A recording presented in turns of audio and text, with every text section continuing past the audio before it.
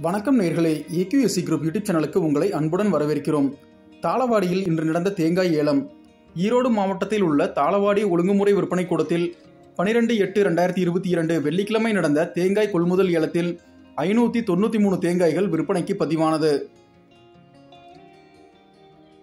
தரத்திற்கேற்ப ஒரு தேங்காய் குறைந்தபட்சம் பனிரெண்டு ரூபாய் முதல் அதிகபட்சம் ஒரு தேங்காய் பதினாறு ரூபாய் எழுபது காசுகள் வரை ஏலத்தில் கொள்முதல் செய்யப்பட்டது. இந்த தகவல் பயனுள்ளதாக இருந்தால் அனைவருக்கும் பகிரவும். நன்றி வணக்கம்.